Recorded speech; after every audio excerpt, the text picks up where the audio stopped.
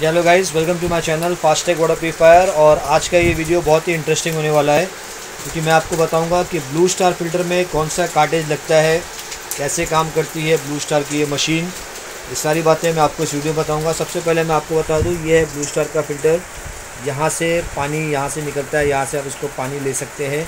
ये इसका switch on end of वाला, और इसमें दो इंडिकेशन दिया हुआ है, एक वार्म अप वाला, एक रेडी वाला। जैसा कि आप देख रहे हैं, ये ब्लू स्टार यहाँ पे दिखाई दे रहा है। आइए देखते हैं क्या इस मशीन के अंदर। इसके अंदर ये एक यूवी चेम्बर दिया हुआ है। ये है वो यूवी चेम्बर जिसमें यूवी लाइट लगी होती है यूवी ट्यूब होता है। इससे बैक्टीरियाज किल होते हैं पानी के।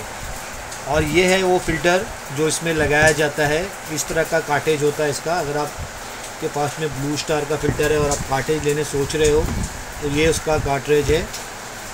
और इस तरह से इसे आप इसमें इंसर्ट कर सकते हैं।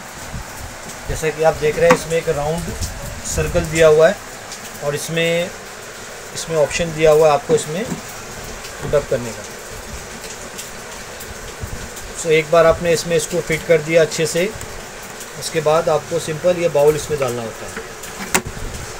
तो गाइस होप आपको समझ में आ गया होगा कि ब्लू स्टार मशीन में कौन सा कार्टेज लगता है, कैसे इसका फ़ंक्शन है कैसे ये यूवी मशीन काम करती है? ब्लू स्टार यूवी मशीन तो अगर आप ये लेने सोच रहे हो तो इस वीडियो को देखने के बाद ये वीडियो अगर आपके लिए हेल्पफुल होता है तो प्लीज़ मेरे वीडियो को लाइक और सब्सक्राइब ज़रूर कीजिए। Thank you for watching